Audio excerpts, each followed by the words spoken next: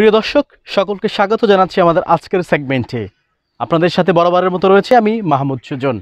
এখন জানাব আলোচিত কিছু ছবির ঘটনা। বছরটি ছিল আমাদের জন্য অভিশপ্ত না সুখ স্মৃতি তা বিশ্লেষণ করবেন ছবি দেখে। চলুন দেখে আসি এবছরের আলোচিত কয়েকটি ছবি। চলে গেল দুই হাজার কুড়ি সাল। বছরটি ছিল করোনা মহামারীর। করোনা ভাইরাসের বাইরেও আলোচিত ছিল অনেক ঘটনা। সাড়া ফেলেছিল অনেক ছবি। দেখে নেওয়া যাক সেসব ছবির এক ঝলক। প্রথম ছবিতে বলা হয়েছে ফুসফুসের সংক্রমণ সহ শ্বাসকষ্ট নিয়ে বিভিন্ন হাসপাতালে ঘুরে নারায়ণগঞ্জের সোনারগাঁয়ের মদনপুর থেকে ঢাকা মেডিকেলের স্ত্রী রোমানাকে নিয়ে আসেন তার স্বামী। ভর্তির জন্য অপেক্ষা করছেন অ্যাম্বুলেন্সে। এ সময় স্বামী তাকে অভয় দেন। পরে হাসপাতালে ভর্তি নেওয়া সহ করোনা পরীক্ষার ব্যবস্থা করা হয়। গত পনেরোই জুন দুপুরে ছবিটি নেওয়া হয়েছে ঢাকা মেডিকেলের সামনে থেকে।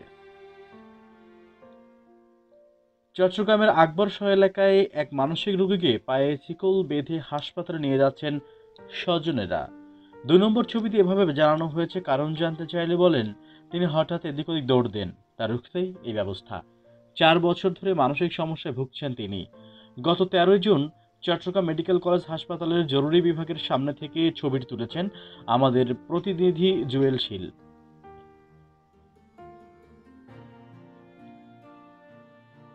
রাতভর ছিল ঘূর্ণিঝড় আমফানের তাণ্ডব। তাণ্ডবে লণ্ডভণ্ড উপকূলের জনজীবন। কপোতাক্ষ নদের বাঁধটির পাশে এই বাড়ির অবস্থান।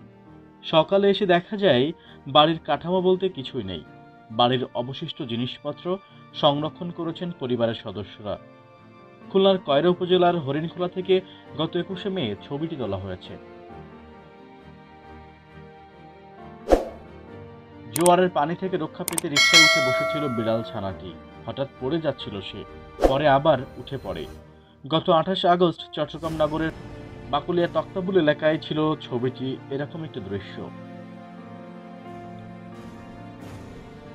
গত উনত্রিশে জুন রাজধানীর সদরঘাটে দীপু মালাকারের ছবিতে ভেসে উঠেছে, বুড়িগঙ্গা নদীতে অর্ধশতাধিক যাত্রী নিয়ে একটি লঞ্চ ডুবে গেছে, তারই একটি সচিত্র।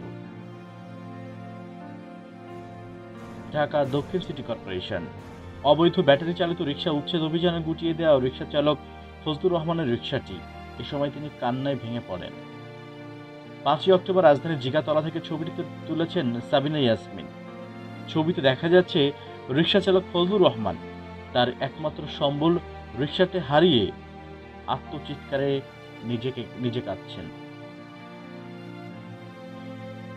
দোহার উপজেলার মেঘুলা বাজারের মালিকান্দা গ্রামে ডুবে গেছে পর্দার পানিতে বহু বাসিন্দা ছেড়ে দিয়েছেন বসত ভিটা দিনমজুর মনির গাজী তার স্ত্রীকে নিয়ে আশ্রয় নিয়েছেন একটি পরিত্যক্ত বাড়িতে।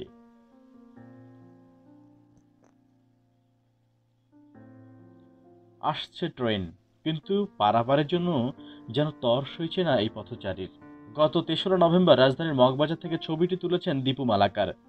ছবিতে দেখা যাচ্ছে, ভদ্রলোক সজোরে এগিয়ে যাচ্ছেন তার নির্দিষ্ট গন্তব্যে।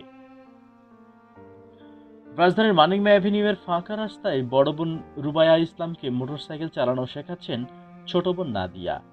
করোনাকালে এরকম অনেক নতুন নতুন কিছু শেখা হয়েছে আমাদের। দীর্ঘদিন ধরে বন্যা কবলিত ছিল দেশের বিভিন্ন এলাকা।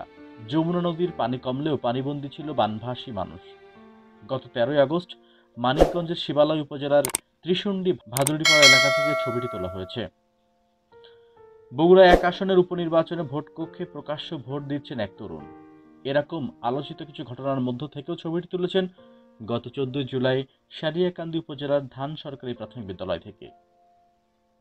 জাতির জনক বঙ্গবন্ধু শেখ মুজিবুর রহমানের জন্মশতবার্ষিকী উপলক্ষে সোহরাদি উদ্যানে বর্ণিল আতসবাজির মাধ্যমে শুরু হয় মুজিব বর্ষের মূল অনুষ্ঠান।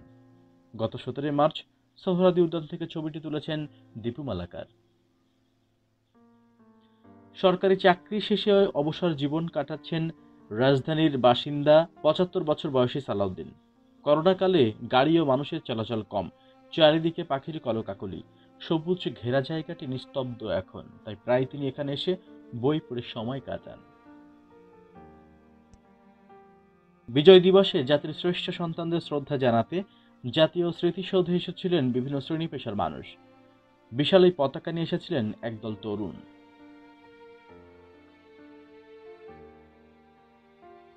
করোনাকালে এরকম বিচিত্র অনেক ছবি আমরা দেখতে পেয়েছি অনলাইনের যুগে।